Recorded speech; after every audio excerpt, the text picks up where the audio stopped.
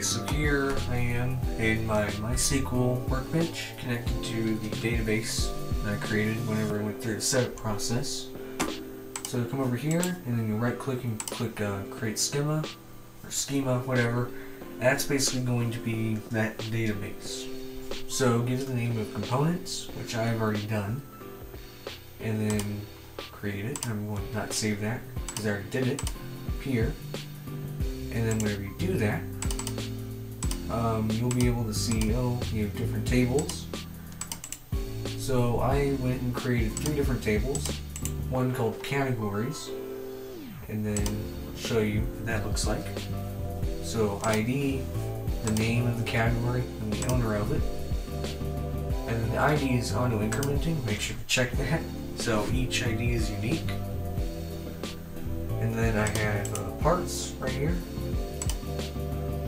So the parts each have ID, category, name, quantity, owner, location X and location Y.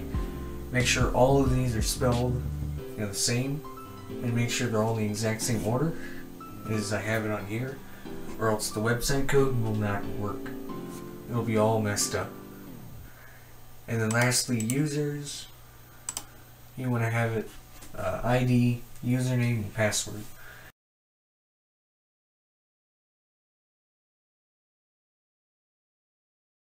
Here is the opened container, and here's the lid for it,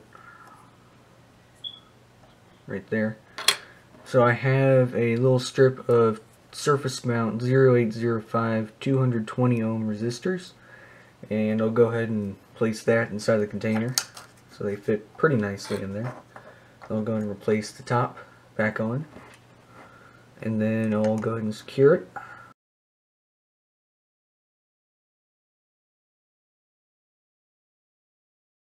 Okay, so on my laptop here, I have a custom Python script running, and it's running a Flask uh, web server on it.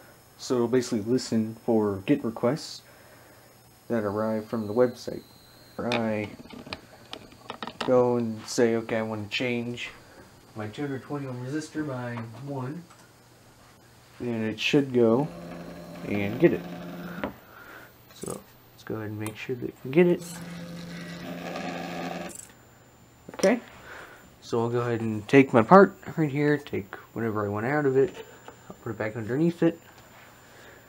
After I'm done, it'll pick it up and it'll take it back over and drop it. And yeah, that's pretty much it. so you can expand it to however big you want. You know, it's a pretty scalable system.